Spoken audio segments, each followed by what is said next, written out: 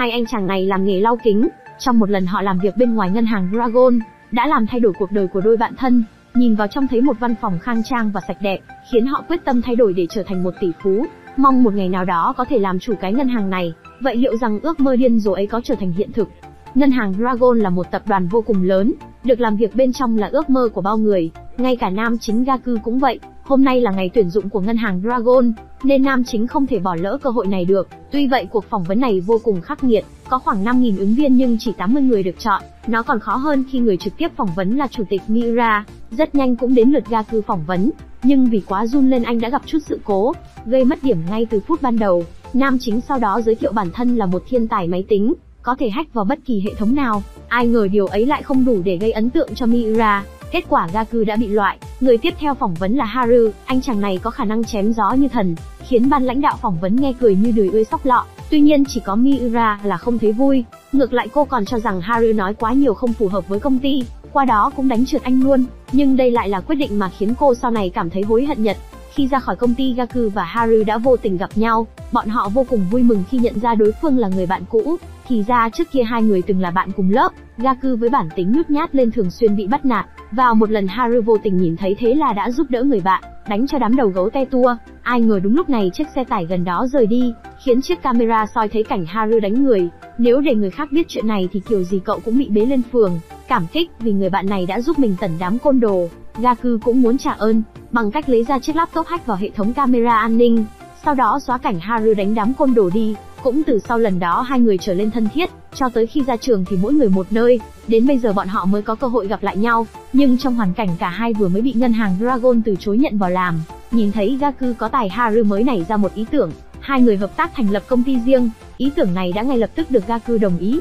Thế là đôi bạn quyết tâm khởi nghiệp cùng nhau, tuy rằng họ chưa có ý tưởng gì, nhưng cả hai đều tin tưởng rằng bọn họ sẽ thành công. Ngay ngày hôm sau hai người đã bắt tay vào thực hiện, vốn của mỗi người là 200 đô, trong khi Gaku còn chưa biết sẽ làm gì với số tiền ít ỏi đó, thì Haru đã mua một chiếc ghế mới về, khiến cho Gaku thắc mắc người bạn lấy đâu ra tiền để mua ghế đó, thì Haru trả lời chính là 400 đô của họ. Theo anh thì đây là khoản đầu tư cần thiết, vì một kỹ sư máy tính như Gaku phải được ngồi làm việc thoải mái. Lúc này nam chính mới nhận ra người bạn này rất lo cho mình, rồi Haru bảo rằng bọn họ sẽ đi kêu gọi vốn, sau đó lấy số tiền đó để khởi nghiệp, nhưng chuyện đó đâu có dễ dàng. Họ đã tìm tới rất nhiều nhà đầu tư nhưng chỉ có một kết quả đó là bị từ chối thẳng mặt, vì chẳng ai ngu đầu tư vào hai người còn chưa có mục tiêu trước mắt, làm kế hoạch khởi nghiệp này rơi vào đường cụt. Đúng lúc này Haru nghĩ ra một người, rồi cứ vậy nhanh chóng dẫn người bạn tới chỗ người đó, không ai khác chính là Mira.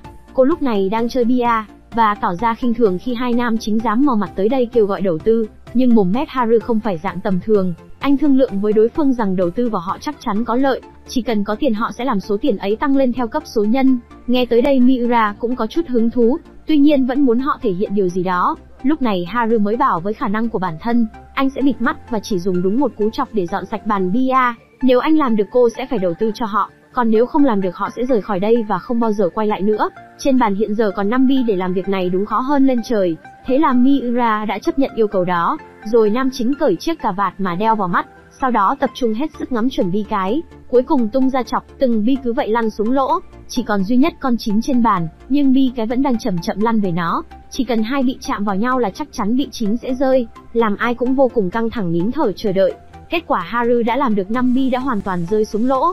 Lúc này tới Miura thực hiện lời hứa, cô cũng bảo cấp dưới mang ra một chiếc vali tiền, bên trong là 100 triệu yên. Miura đưa ra thỏa thuận số tiền ấy đổi cho 51% cổ phần. Điều này khiến cho đám nam chính đang vui ngay lập tức tắt nụ cười. Nếu như vậy người đứng đầu công ty sẽ làm Miura, với 49% cổ phần thì họ giống như người hầu của cô ta mà thôi, điều đó không thể chấp nhận được. Lên ngay lập tức hai người đứng dậy quay đít bỏ đi, tuy rằng thất bại trong việc gọi vốn, nhưng hai người vẫn rất vui kéo nhau đi uống rượu. Ai ngờ lúc này họ nghe được một thông tin, ngân hàng Dragon sắp tổ chức một cuộc thi về bảo mật. Theo Gaku biết thì cuộc thi này quy tụ rất nhiều hacker nổi tiếng trên thế giới, danh được giải nhất sẽ được rất nhiều công ty lớn chú ý tới. Nhận thấy đây là cơ hội tốt lên Haru đã bảo Gaku hãy tham gia. Anh tin rằng với khả năng của mình thì Gaku sẽ chiến thắng, từ đó mở ra cơ hội lớn cho bọn họ lập nghiệp. Tuy vậy nam chính vẫn đắn đo, vì biết khả năng của mình còn rất yếu kém.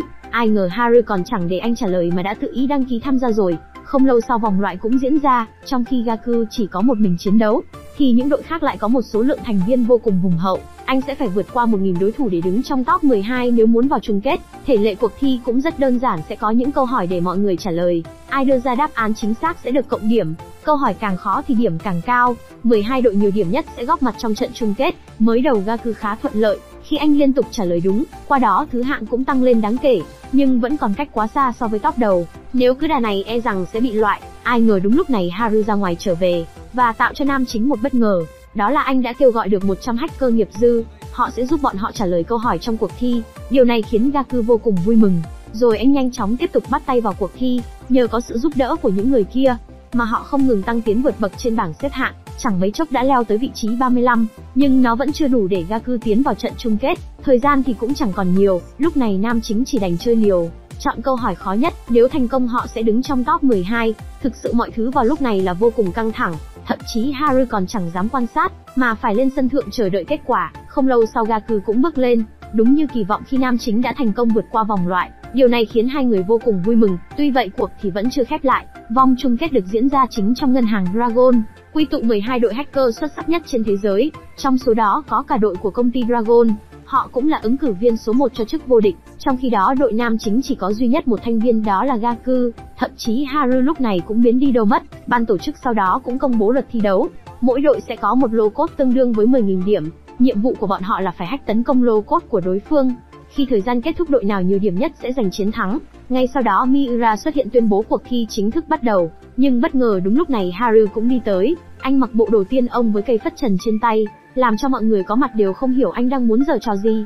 Sau lúc Haru mới bảo Gaku sau khi cuộc thi bắt đầu một phút hãy truy cập mạng, rồi anh đi thẳng tới trước sân khấu không ngừng làm phép, nhưng bằng một cách thần kỳ nào đó dưới sự làm phép của anh, tất cả những đội thi không thể nào truy cập được mạng, khiến bọn họ chẳng hiểu chuyện gì đang xảy ra. Riêng chỉ có Gaku theo lời bạn dặn qua một phút đầu tiên anh mới kết nối wifi, và quả nhiên chỉ có mình anh là vào được mạng, qua đó bắt đầu tấn công lô cốt của những người chơi khác. Lúc này trên khán đài một người đàn ông đã nhận ra trò của Haru, cây phất trần của anh được làm từ giấy bạc, qua đó khi anh phe phẩy nó sẽ chặn sóng, còn lý do chỉ có một mình Gaku vào được mạng do Haru đã chuẩn bị một cục wifi khác, đặt sau bó hoa để che mắt mọi người. Haru đã cố tình cài đặt wifi đó sẽ hoạt động sau một phút khi cuộc thi bắt đầu, vì thế làm những đội chơi khác không vào được mạng, đến khi bọn họ truy cập được thì Gaku đã leo lên dẫn đầu, nhưng vì chỉ có một người lên Gaku rất nhanh thất thế, thứ hạng của anh giảm còn nhanh hơn cách Kave tụt quần, chẳng mấy chốc đã ở vị trí bét bảng. Điều này khiến Gaku sụt giảm tinh thần nghiêm trọng, dường như đội của họ đã chẳng còn cơ hội thắng. Nhưng Haru đã có phương án khác, đợi đến lúc gần hết thời gian anh bảo Gaku truy cập vào wifi của ban tổ chức, sau đó anh đổi mật khẩu wifi của anh mang vào, làm cho tất cả những đội khác bị mất mạng. Nhân cơ hội đó Gaku liên tục tấn công, điểm của đội nam chính vì thế mà tăng chóng mặt, lúc này những đội khác đã không đủ thời gian để vào lại nữa. Kết quả đội của nam chính đã thắng một cách ngoạn mục, điều này làm cho Miura vô cùng khâm phục, không phải vì thực lực họ giỏi mà là vì đội nam chính quá thông minh, đến bây giờ cô mới nhận ra bản thân đã bỏ qua hai nhân tài. Qua đó đã gửi cho họ một lời đề nghị khác đó chính là 200 triệu cho 51%, nhưng tuyệt nhiên Haru vẫn không để ý tới, cũng chính vì sự tài năng ấy mà họ đã được người đàn ông trên khán đài tìm tới. Ông ta đưa ra một lời đề nghị với hai người, Kazuki là ông chủ của một công ty đa quốc gia, và cái giá của ông ta đưa ra cho hai người là 30 triệu cho 15% cổ phần. Đây cũng là cái giá mà nam chính ưng ý nhất, vì họ vẫn có tiền mà không hề mất đi quyền làm chủ. Nhưng Kazuki có một yêu cầu trong vòng một tháng họ phải kiếm được 3 triệu won, nếu không ông sẽ cắt đứt hợp đồng đầu tư. Tuy nhiên Haru lại chẳng hề lo lắng, khi có tiền trong tay còn trực tiếp chụp ảnh tự sướng, vì trong đầu anh đã có kế hoạch, hai người họ sẽ kinh doanh bán hàng trên mạng xã hội, mà việc khoe tiền cũng là một chiêu trò để thu hút khách. Nhưng khi Gaku hỏi họ sẽ bán hàng gì thì Haru lại không biết, tuy vậy anh đã có cách riêng của mình, rồi kéo Gaku đi tuyển dụng nhân sự, những người ứng tuyển sẽ là người trả lời câu hỏi của Gaku, và tất nhiên việc tuyển dụng không hề dễ dàng, vì không ai đáp ứng được những tiêu chí mà họ đặt ra. Phải tới khi cô nàng Kama xuất hiện, từng câu hỏi được cô trả lời trôi chảy, không những thế lại đúng với ý của nhóm nam chính, thế là họ quyết định tuyển thẳng cô vào làm ở vị trí giám đốc. Ngày đầu tiên đi làm Kama rất bất ngờ khi văn phòng bọn họ chính là nhà của Gaku, tuy vậy cô vẫn không hề chê trách, mà quyết tâm cùng hai người kia đưa công ty đi lên. Lúc này Haru cũng nói phía nhà đầu tư giao cho họ, trong một tháng phải kiếm được 3 triệu yên. Vậy cô có cách nào để làm được điều đó hay không? Thế là cô gái đã nảy ra một ý tưởng, bọn họ sẽ tạo một con AI chuyên tư vấn quà sinh nhật cho khách hàng. Chỉ cần khách hàng đặt đồ gì họ sẽ bán đồ đó. Đây quả là một cách hay lên ba người lập tức bắt tay vào thực hiện. Haru và Kama sẽ đi tìm và liên kết với những cửa hàng lưu niệm, còn Gaku thì ở nhà lập trình tạo ra một con AI tư vấn khách hàng. Sau 3 ngày làm việc không biết mệt mỏi cuối cùng anh đã hoàn thành, nhưng khi Haru kiểm tra thì nó lại không giống với ý tưởng ban đầu. Thứ Kuga tạo ra là một con thỏ để thay thế hình dạng con người. Tuy vậy lúc này họ không có thời gian để thay đổi nữa, qua đó chỉ đành để Kama vào tư vấn cho khách, chú thỏ máy sẽ lặp lại đúng những gì cô làm. Bọn họ đặt tên cho nó là Rin Rin. Đây là lần đầu tiên Kama nói chuyện trước camera lên có đôi chút ngượng ngùng, nhưng ai ngờ chính điều đó lại khiến mạng xã hội thích thú. Rất nhanh chú thỏ máy đã trở thành một cơn sốt, khi khách hàng nhắn mọi lúc mọi nơi, nên Kama cũng phải tư vấn ở mọi chỗ kể cả ở ngoài đường hay công viên. Chẳng mấy chốc đã hết tuần đầu tiên họ kinh doanh, tất cả đều nín thở chờ đợi doanh thu, nhưng khi biết được thì ai cũng thất vọng, vì cả một tuần họ chỉ kiếm được 49.000 yên, nếu cứ đà này họ sẽ không kiếm đủ 3 triệu. Tuy vậy ba người không hề nản chí, ngã ở đâu đứng dậy ở đó, họ cùng nhau tìm ra hướng giải quyết. Lúc này Harry cho rằng vì không có một mặt hàng cụ thể nên họ mới bán được ít, để giải quyết vấn đề này bọn họ quyết định sẽ chỉ bán mặt hàng được ưa chuộng. Theo kinh nghiệm đã từng làm ở cửa hàng hoa của mình, Kama biết rằng đàn ông rất ngại việc đi mua hoa tặng người mình yêu, vì thế nếu họ chấp nhận tư vấn và ship hoa thì rất có thể thành công. Đến nước này họ chỉ còn cách thử, với việc là con gái hiểu biết rất rõ tâm lý của khách hàng, nên Kama đã tư vấn rất nhiệt tình. Đầu tiên chỉ có một đơn hàng của một anh chàng tặng cho thần tượng của mình, nhưng bó hoa ấy đã khiến cô ai do rất yêu thích chụp ảnh đăng lên mạng cảm ơn, khiến cho rất nhiều người vào hỏi anh chàng kia mua hoa ở đâu mà đẹp thế. Như một hiệu ứng dây chuyền đã có rất nhiều người tìm tới cửa hàng hoa online của nam chính, thậm chí Gaku chỉ việc ngồi lên đơn cho khách mà vẫn không kịp. Việc kinh doanh lúc này mới thực sự bùng nổ, rất nhanh đã hết một tháng kinh doanh, ba người vẫn rất hồi hộp khi chờ đợi doanh thu, và lần này họ đã làm được, khi doanh thu đạt hơn 3,1 triệu yên, làm cho ba người cứ vậy ôm nhau nhảy như điên. Khi nhận được kết quả Kazuki cũng rất hài lòng, và ông ta đã cho họ một phần thưởng, đó là trực tiếp giới thiệu ba người với cấp trên của mình. Bà ấy cũng muốn ký hợp đồng với công ty của nam chính, nhưng có một thử thách trong tháng tới bọn họ phải đạt doanh thu 20 triệu yên, điều đó khiến cả ba người đứng hình. Tuy vậy Haru vẫn vui vẻ chấp nhận thử thách này, thậm chí anh còn cảm kích khi đối phương cho bọn họ cơ hội. Khi trở về hai người kia mới phản đối, họ cho rằng để làm được điều đó là phi lý. Kama nói bảo trước kia cửa hàng của cô làm cả năm mới được 20 triệu yên, việc họ đạt trong một tháng là không thể, mà nếu muốn đạt điều đó mỗi ngày họ phải bán ít nhất là 60 bó hoa. Tuy vậy Haru đã có kế hoạch của riêng mình, đó là anh cùng Gaku sẽ cùng nhau đi xin vào một quán rượu, nơi giới trẻ thường tụ tập ăn chơi, họ sẽ làm công việc tiếp rượu cho khách, sau đó sẽ giới thiệu cửa hàng hoa của họ cho chơi giới ăn chơi, nhưng chẳng có chuyện gì là dễ dàng cả. Ngày ngày đầu đi làm Gaku đã bị khách đổ nước lên đầu, thậm chí còn bị những tên khác ghen ăn tức ở đánh đập. May mắn đúng lúc này Haru xuất hiện, anh dễ dàng dạy cho đám côn đồ này một trận nhớ đời, thành công giải cứu cho ông bạn một bản thua trông thấy. Kể từ đó công việc tiếp rượu của hai người vô cùng thuận lợi, việc quảng cáo cửa hàng hoa cũng rất thành công. Lượng khách hàng mua hoa tăng chóng mặt, làm Kama tư vấn không có thời gian nghỉ, nhưng để đạt tới con số 20 triệu thì vẫn còn rất xa. Điều này khiến cả nhóm vô cùng đau đầu. Tuy vậy họ không nản chí, tiếp tục cố gắng tăng chất lượng của bó hoa. Gaku thiết kế trên máy tính sao cho bó hoa thật sự hoàn hảo, mong rằng sẽ thu hút thêm nhiều khách hàng hơn. Kể từ đó hoa lúc nào cũng để đầy quán rượu, Kama làm không hết việc, đơn hàng lúc nào cũng ngập tràn cần họ xử lý. Chẳng mấy chốc đã hết một tháng, cũng là lúc họ phải xem doanh thu. Và khi nhìn thấy hơn 20 triệu yên hiện ra Gaku đã bật khóc. Anh không nghĩ bọn họ lại có thể đạt được cột mốc này. Qua đó ba người lại tiếp tục cùng nhau ăn mừng, rồi cùng nhau đến thông báo kết quả cho bà chủ Kazuki. Và bà ấy rất hài lòng khi thấy được thành quả đó. Thấy được sự quyết tâm của bọn họ bà Michu đã đồng ý ký hợp đồng. Qua đó công ty của Haru và Gaku đã chính thức được thành lập, và lấy tên là trò chơi nghìn tỷ. Với quỹ đầu tư đầu tiên Mi chưa đổ vào là hơn 100 triệu yên, nhưng họ còn chưa kịp vui mừng thì đã có chuyện. Ngân hàng Dragon cũng tung ra một con AI, chính thức tuyên chiến với công ty của bọn họ. Đối phương muốn dùng danh tiếng và tiền bạc để đè bẹp bọn họ. Điều này khiến Haru vô cùng sốc. Anh không nghĩ Miura lại tung ra chiêu độc như vậy, nhưng điều đó không đủ để đánh bại được ý chí của anh. Trong đầu Miura khi anh đã nghĩ ra cách để vượt qua điều đó, anh bàn bạc với hai người kia, bảo rằng trò chơi nghìn tỷ đã đến lúc bước sang giai đoạn tiếp theo. Đây cũng là bước quyết định xem công ty họ có thành công hay không. Từ nay họ sẽ không bán hoa nữa, mà mở một game show trực tiếp chơi để nhận thưởng. Nói cách khác Haru muốn hướng trò chơi nghìn tỷ thành một công ty game. Để làm được điều này thì họ phải cần thêm người. Haru bảo rằng họ hãy cầm 100 triệu yên đi mua lại một công ty game, sau đó phát triển nó theo hướng của bọn họ, nói là làm Haru cùng Gaku ngay sau đó đã lên đường đi thương lượng mua công ty, nhưng không phải nói mua là mua được, họ bị rất nhiều công ty từ chối, tuy vậy hai người vẫn không hề bỏ cuộc, mà không ngừng cố gắng tới từng công ty lớn nhỏ để đàm phán, cho đến khi họ tìm được một nhóm người chuyên lập trình game cho các công ty lớn, nhưng hiện giờ bọn họ đang gặp khó khăn có nguy cơ giải thể. Tuy vậy Haru vẫn nhìn thấy tiềm năng của đám người này, thế là anh đã hứa sẽ rót tiền đầu tư. Việc của họ chỉ là tập trung tạo ra một con game tầm cỡ, đủ sức để cạnh tranh với những tựa game đang rất thịnh hành hiện nay. Dưới những lời đường mật mà Haru rót vào tai, đám người kia cũng thấy một viễn cảnh màu hồng, thế là bọn họ đã đồng ý đầu quân cho nhóm nam chính. Ngay sau đó họ đã chuyển văn phòng tới nơi mà Haru đã đổ tiền để thuê. Nhìn thấy văn phòng sang xịn mịn mà ai cũng phải thốt lên là nó quá đẹp, thậm chí Gaku cũng không tin là mình sẽ là ông chủ của nơi này, mà tất cả điều đó đều là do Haru mang đến.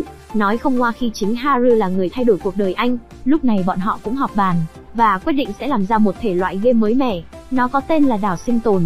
Ngay sau đó tất cả mọi người bắt tay vào làm việc, không lâu sau công ty họ cũng tổ chức một buổi cho ra mắt con game của mình. Nó đã thu hút rất nhiều người tới tham dự. Ai ngờ lúc này Haru lại tạo cho tất cả mọi người một bất ngờ. Anh không chỉ giới thiệu con game đầu tay của công ty, mà còn công bố một nhân vật vô cùng nổi tiếng. Đó là Hori, một nhà sản xuất game đại tài mà công ty nào cũng muốn sở hữu. Trên mục phát biểu Hori tuyên bố từ nay sẽ hợp tác cùng công ty trò chơi nghìn tỷ, làm cho ai cũng phải bất ngờ. Không hiểu bằng cách nào mà Haru có thể thuyết phục được Hori, nhưng ai biết được rằng Hori đó chỉ là giả. Anh ta chỉ là người bình thường được Haru thuê đóng giả tới đó, quả nhiên đã lừa được tất cả mọi người. Cũng chính điều đó trò chơi nghìn tỷ đã thành công gọi được 2 tỷ yên tiền đầu tư, mà con game sinh tồn kia cũng chỉ là một bức bình phong của Haru. Anh cố tình công bố sẽ tạo ra một con game mới với mục đích là để gom tiền, còn thứ anh thực sự hướng đến là một đế chế truyền thông, khi họ đủ sức để đè bẹp ngân hàng Dragon. Biết được sự thật này Gaku đã rất sốc, không ngờ người bạn mà anh biết lại là một người có tham vọng lớn như vậy. Ngay sau đó Haru đã tới tìm Kazuki, yêu cầu hai người hợp tác, thâu tóm cả ngành giải trí Nhật Bản. Ai ngờ ông ta lại không hề hứng thú với thương vụ này, làm Haru chỉ đành ngậm ngùi rời đi. Đến sáng hôm sau Kama hớt hải chạy tới công ty, vội vàng kéo Gaku ra một góc nói chuyện. Cô phát hiện 2 tỷ tiền đầu tư họ mới có được đã bị rút sạch, và Kama nghi ngờ người làm việc này là Haru, chính vì thế phải tìm anh ta nói chuyện cho ra nhẽ. Nhưng ai ngờ Gaku đã ngăn cô lại, và nói tất cả chuyện này là do mình. Anh đã biết Haru nói dối nhưng lại không đủ can đảm để ngăn cản cậu ấy, qua đó mới khiến mọi thứ đến bước đường này. Tuy vậy Gaku quyết tâm dù không có Haru thì anh vẫn sẽ tiếp tục làm theo kế hoạch, đó là phát triển ra một con game đủ sức lan tỏa ra toàn cầu. Rồi anh trở về nói ra hết mọi chuyện cho người trong công ty biết, việc này khiến ai cũng thất vọng tràn trề, vì họ đã bị lừa dối trong suốt một thời gian dài. Tuy vậy anh tóc vàng vẫn đích thân cảm ơn Gaku vì đã nói ra sự thật, chính điều này đã tiếp thêm động lực cho nam chính. Anh muốn cùng những người ở đây gây dựng trò chơi nghìn tỷ thật phát triển, sự chân thành ấy đã khiến mọi người cảm động, và đồng ý sẽ giúp nam chính thực hiện mơ ước đó. Trong khi đó Haru lại lần nữa tới tìm Kazuki, nhưng lần này ngoài 2 tỷ anh còn mang tới một vũ khí khác, đó là chứng cứ một vụ án Kazuki từng đâm chết người sau đó bỏ trốn. Bí mật này đến thời điểm hiện tại vẫn bị che giấu, nhưng không biết bằng cách nào mà Haru có thể tìm ra. Anh uy hiếp ông ta phải hợp tác với mình, nếu không sẽ phanh phui chuyện này. Bị dồn vào đường cùng Kazuki, chỉ còn cách bắt tay hợp tác với Haru. Quả thật Haru là người vô cùng độc ác, không trừ một thủ đoạn nào để đạt được mục đích. Trong khi đó Gaku lại trái ngược hoàn toàn, anh là có tài lại vừa có đức, khi trực tiếp hack vào hệ thống phát triển game của ngân hàng Dragon, nhưng không phải để đánh cắp ý tưởng, vừa giúp họ nâng cấp vừa sửa hệ thống chính để người khác xâm nhập vào. Hôm sau Miura biết được chuyện này đã rất sốc, khi cả công ty chưa biết ai là người làm chuyện này, thì cô đã nghĩ ra Gaku, nhưng lại không biết anh vì lý do gì mà lại làm như vậy. Thế là ngay sau đó đã trực tiếp gọi điện thoại cho nam chính và đưa ra yêu cầu được hẹn hò với anh. Điều này khiến cho Gaku vô cùng bất ngờ, thậm chí còn không tin vào những gì mà bản thân vừa nghe thấy. Tuy nhiên vẫn liều mạng tới địa điểm gặp mặt, ai ngờ Miura lại xuất hiện thật, ở đây là một trung tâm giải trí, bọn họ đã cùng nhau chơi rất nhiều trò chơi vui vẻ. Đây cũng là lần đầu tiên Miura được vui vẻ như vậy, hai người chẳng hề quan tâm tới thời gian mà chơi một phát từ sáng đến tối muộn. Khi bọn họ cùng nhau chơi đu quay Miura mới hỏi chuyện, có phải anh là người đã xâm nhập vào hệ thống của công ty cô trước đó? Điều này khiến Gaku đứng hình không biết phải trả lời thế nào. Tuy rằng anh không trả lời thì Miura đã biết đáp án, Cô cứ vậy tiến lại ngồi gần nam chính, sau đó hỏi anh có muốn làm việc cho ngân hàng Dragon không? Đây cũng là ước mơ trước kia của anh, nhưng bây giờ đã khác Gaku đã từ chối lời mời đó.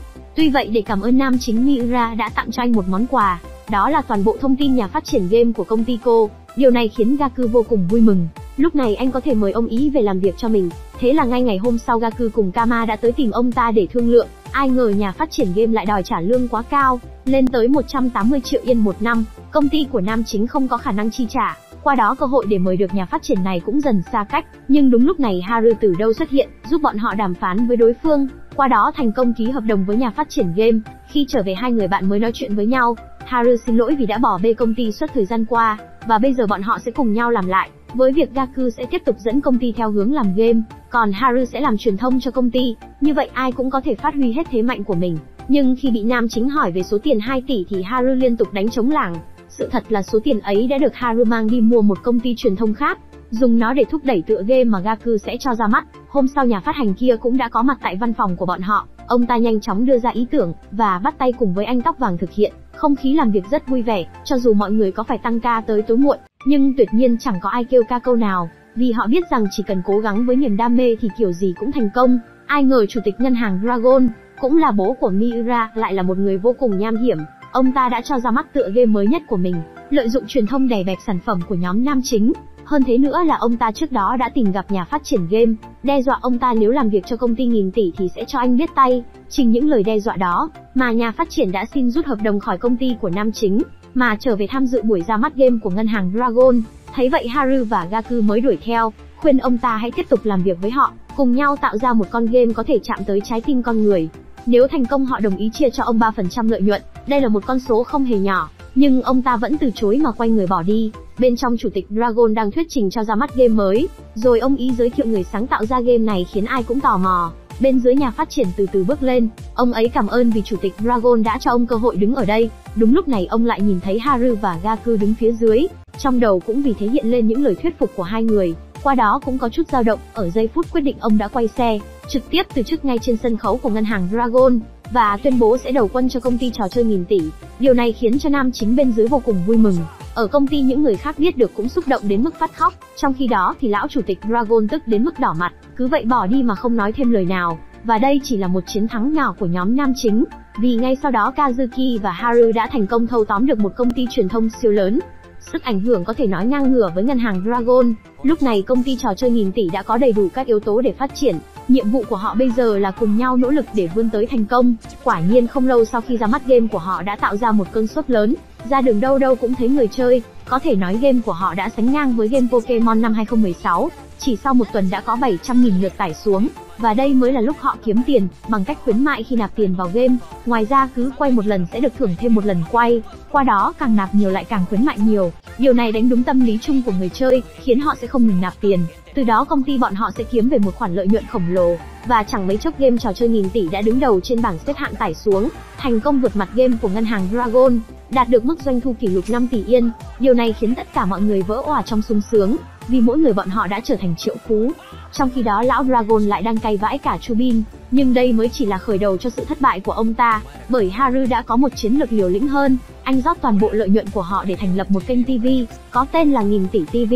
Nó bao gồm tất cả các chương trình giải trí ẩm thực hay game show. Đây là một bước đột phá mà chưa một công ty tư nhân nào làm được, ngay cả ngân hàng Dragon cũng vậy, vì nếu người xem truy cập quá nhiều máy chủ của họ sẽ bị sập, nhưng Gaku đã tính trước và việc suốt đêm không nghỉ, để chuyển toàn bộ dữ liệu máy chủ lên hệ thống đám mây, như vậy hệ thống sẽ không bị quá tải dẫn tới gián đoạn. Ai ngờ ngay sau đó ngân hàng Dragon đã có lời đáp trả, họ đã ký kết với công ty nước ngoài, quyết tâm đè bẹp tập đoàn nghìn tỷ của nhóm nam chính, để lật ngược thế cờ này thực sự rất khó, nhưng với Haru thì không gì là không thể, muốn có một chương trình chất lượng thu hút khán giả, thì cần phải có một chuyên gia đưa tin, mà ở Nhật Bản này không ai có vượt qua trình độ chuyên môn của Kunugi. Thế là hai nam chính đã đích thân đi tìm ông ấy, tuy rằng rất tài giỏi nhưng ông hiện giờ chỉ làm cho một nhà đài nhỏ, còn lý do ông làm ở đây phải kể từ mấy năm trước, khi ông vẫn đang làm cho đài truyền hình quốc gia. Trong một lần nhà đài cố tình đăng tin sai sự thật, chỉ để lấy lòng nhà tài trợ, Kunugi lại là con người rất thật thà không thể chịu được sự giả dối ấy, mà ông đã bỏ việc không làm nữa. Biết được điều này Haru đã ngỏ ý mời ông gia nhập công ty nghìn tỷ. Anh cam kết nói không với việc bóp méo sự thật, và sẽ đưa tên tuổi của ông lên đỉnh cao một lần nữa. Thế là Carnegie đã đồng ý ngồi xuống bàn đàm phán, chấp nhận đầu quân cho nghìn tỷ TV. Bây giờ họ đã có thể bắt đầu sản xuất chương trình. Rất nhanh tập phát sóng đầu tiên đã được ra mắt, và nó vô cùng thành công nhận về cơn mưa lời khen của khán giả trên mạng xã hội. Đây là một chiến thắng lớn với bọn họ, khiến ai cũng vui mừng mà hò reo, doanh số cũng vì thế mà tăng vọt, chẳng mấy chốc đã đưa về cho công ty 250 triệu yên, nhưng ngân hàng Dragon cũng chẳng dễ gì cho qua chuyện này. Rất nhanh chóng họ đã ra đòn đáp trả, bằng việc công bố hợp tác với các hãng TV, kênh truyền hình của họ sẽ được tích hợp nút bấm luôn trên bộ điều khiển, như vậy độ phủ sóng kênh truyền hình của họ sẽ lan ra khắp toàn cầu. Mục tiêu của họ, trong 3 năm tới sẽ vươn lên trở thành kênh trực tuyến hàng đầu Nhật Bản, không chỉ thế Miura còn trực tiếp gửi lời tuyên chiến tới nghìn tỷ TV, điều này khiến ai cũng phải ngơ ngác, và ngóng chờ một trận chiến kinh thiên động địa sắp xảy ra. Trên các mặt báo vào lúc này đâu đâu cũng thấy tin tức của hai công ty, thế nên công ty nghìn tỷ phải nhanh chóng đưa ra phương án đối phó. Mà cái gì khó đã có Haru lo, lúc này anh đã nghĩ ra cách, nếu ngân hàng Dragon chọn hợp tác với các hãng TV, thì bọn họ sẽ tìm tới hãng truyện tranh nổi tiếng nhất Nhật Bản, xin hợp tác phát độc quyền những bộ truyện nổi tiếng của họ thành công chắc chắn bọn họ sẽ thắng lớn. Nhưng ai ngờ khi ba người tới trụ sở của công ty anime, thì cũng phát hiện Miura có mặt ở đây, cô ấy đã đi trước họ một bước, khi đã thành công bước ký kết hợp đồng bước đầu. Như vậy gần như nghìn tỷ TV đã thua trong cuộc chiến này, bị dồn vào đường cùng Haru chỉ còn cách tìm tới Miura. cầu xin cô ấy nhường lại hợp đồng công ty anime lại cho mình. Miura ấy vậy mà lại đồng ý chỉ có điều họ phải thực hiện được yêu cầu của cô, đó là Haru và Gaku sẽ phải làm thú cưng cho cô sai khiến hết đời. Nhưng điều kiện ấy tất nhiên là Haru không thể chấp nhận, và cuộc thương lượng cũng vì thế mà thất bại nặng nề. Không chỉ có thế lão già Dragon đã tìm tới Kazuki, đưa ra một yêu cầu hợp tác, nếu Kazuki đồng ý hợp đồng quảng cáo của ngân hàng Dragon sẽ được chuyển cho ông ta, điều đó có nghĩa ông sẽ phải chấm dứt hợp tác với bên công ty nam chính. Việc này khiến Kazuki suy nghĩ đắn đo, trở về ông nói chuyện này cho Haru biết, nhưng anh chỉ bảo nếu thấy mối ngon thì Kazuki cứ việc theo, còn anh sẽ không ép buộc ai phải hợp tác với mình. Lúc này tin báo về cho lão già Dragon rằng Kazuki đã từ chối lời đề nghị hợp tác, điều đó khiến ông ta không khỏi bất ngờ. Thì ra Kazuki vẫn muốn liều đặt cược vào công ty trò chơi nghìn tỷ. Hôm sau cặp đôi nam chính lần nữa đến công ty anime, với hy vọng thuyết phục được họ hợp tác, nhưng vẫn giống lần trước họ đã bị quản lý thẳng thừng từ chối. Bà quản lý này cũng là một người rất tài giỏi, khi đã cùng giám đốc gây dựng lên công ty này. Tuy vậy ở đây bà chưa khi nào được công nhận, đã rất nhiều lần đề xuất tác phẩm bà làm ra, nhưng nó lại chẳng được phê duyệt đến lúc này những tác phẩm đó vẫn xếp xó. Điển hình là bộ truyện thiếu nữ trên ngọn đồi lộng gió. Biết được điều này Haru đã bày tỏ xin được chuyển thể bộ truyện ấy thành phim. Việc này khiến bà quản lý giật mình, vì chưa có một ai lại đề nghị phát hành tác phẩm của bà cả. Và tất nhiên bà ấy đã giao đưa con tinh thần của mình lại cho nhóm nam chính. Tuy rằng không thể ký hợp đồng với công ty anime, nhưng họ vẫn có chút thành quả. Ngay sau khi trở về Haru đã sắp xếp người đọc và chỉnh sửa lại bộ truyện, để nhanh chóng tiến hành chuyển thể nó thành phim. Hôm sau một buổi họp báo đã diễn ra, Haru trực tiếp công bố với báo chí sẽ hợp tác với công ty anime, cho ra mắt bộ phim thiếu nữ trên ngọn đồi lộng gió trong 6 tháng tới. Điều này khiến ai cũng phải bất ngờ, vì không thể nào làm một bộ phim hoạt hình nhanh như vậy được. Nhưng Haru đã trực tiếp giới thiệu Gaku lên sân khấu. Nhiệm vụ tiếp theo sẽ là của anh. Nam chính bây giờ mới giới thiệu bản thân mới sáng tạo ra một phần mềm AI, nó cho phép bọn họ dựng các cảnh phim đẹp và nhanh hơn bình thường rất nhiều. Chính vì thế nghìn tỷ TV sẽ ra phim kịp tiến độ. Lúc này một số người cũng thắc mắc hai bên hợp tác với nhau, thì công ty anime sẽ vi phạm hợp đồng với ngân hàng Dragon, qua đó sẽ phải đền bù một khoản vô cùng lớn. Không chần chừ Haru, ngay lập tức bước lên tuyên bố nghìn tỷ TV sẽ chi trả khoản tiền đó. Điều này làm cho mọi người xôn xao. Trong khi đó Miura ngồi bên dưới bị chơi một vố cay không chịu nổi, cuối cùng đành quay đít bỏ đi. Cứ như vậy Haru đã thành công cướp được hợp đồng từ tay đối thủ, giúp nghìn tỷ TV trở thành đơn vị phát độc quyền phim anime. Không chỉ có thể có được bản hợp đồng này, nghìn tỷ TV còn thành công thuyết phục được bốn hãng sản xuất TV lớn nhất Nhật Bản để họ cho thêm nút trên điều khiển. Điều này khiến ngân hàng Dragon đã thua toàn tập. Việc này khiến lão già không thể chịu đựng thêm nữa, mà ngay sau đó phải gọi nhóm nam chính tới gặp. Ở đây ông ta đưa ra đề nghị mua lại công ty trò chơi nghìn tỷ với cái giá 70 tỷ yên.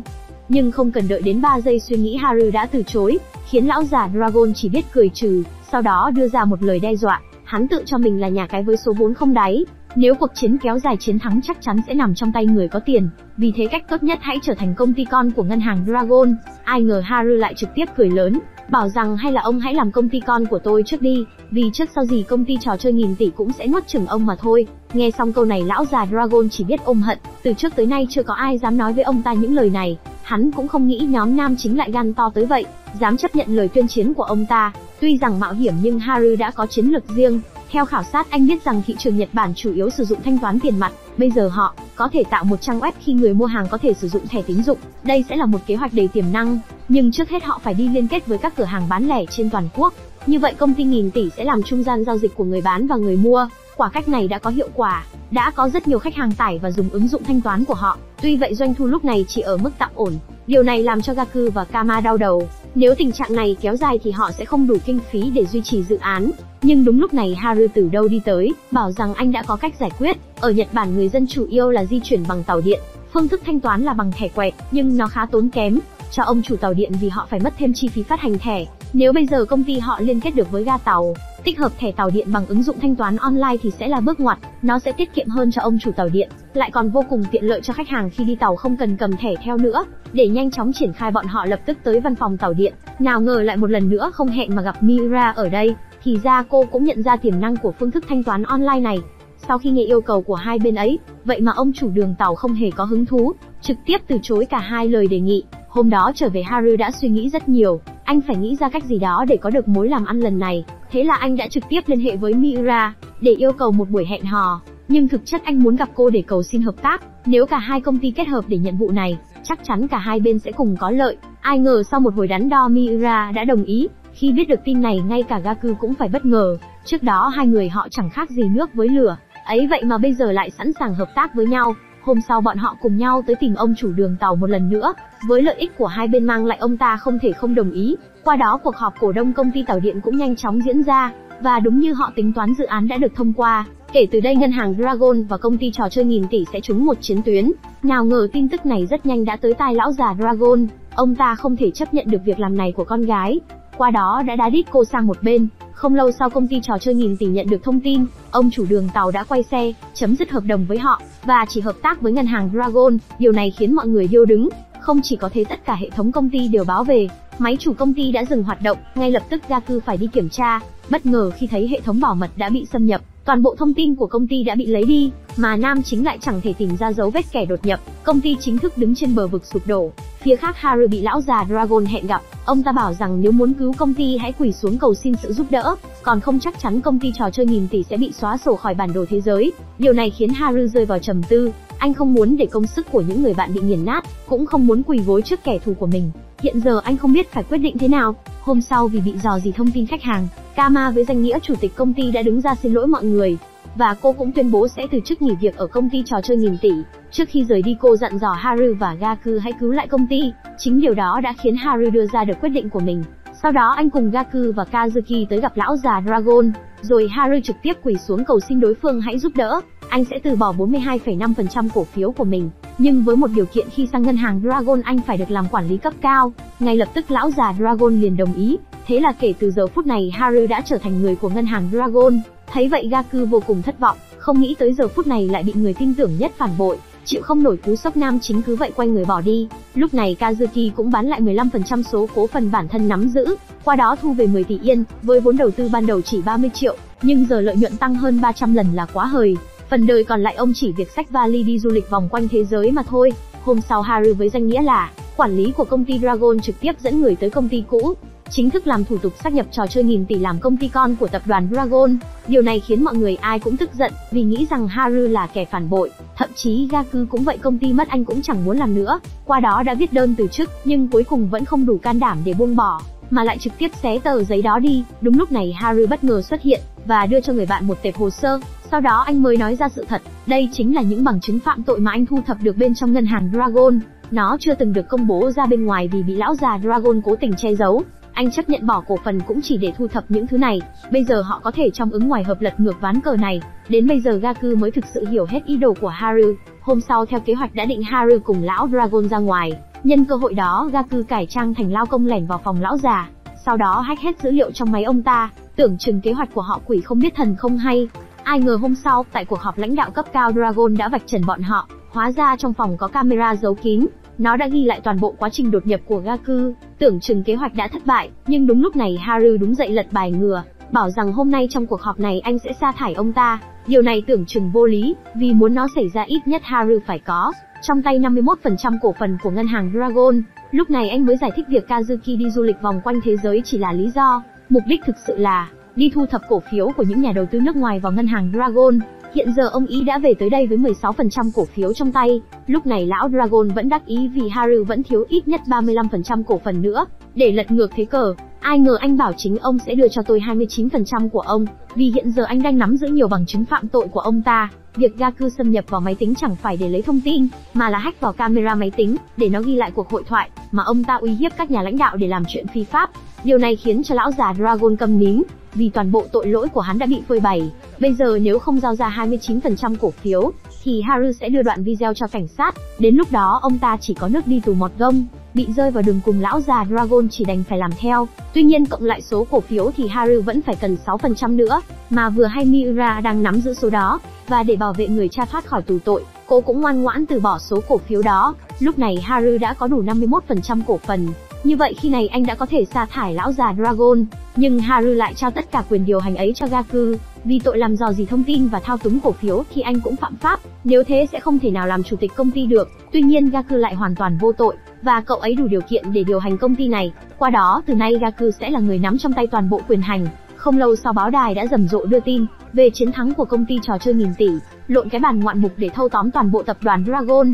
Giữ đúng lời hứa với Kama hai nam chính đã giữ lại được công ty, sau đó họ đã tới đón cô trở lại làm việc. Riêng Miura được phong chức làm chủ tịch công ty Condragon, nhưng lúc này Haru bất ngờ biến mất, không ai liên lạc được với anh, cho tới tận 2 năm sau khi Haru đang đi mua nước, bất ngờ trượt tay làm đồng tiền trong tay bay mất. Lúc này từ đâu một người nhảy lên bắt nó, thì ra người đó không ai khác chính là Haru. Anh đã quay trở lại khiến Gaku vô cùng vui mừng, nhưng chưa kịp nói chuyện Haru đã kéo anh lên con siêu xe, sau đó chờ anh tới thẳng bến cảng, nơi kế hoạch tiếp theo của hai người bọn họ sẽ bắt đầu. Phim tới đây là hết rồi. Xin chào và hẹn gặp lại các bạn ở bộ phim tiếp theo bye bye.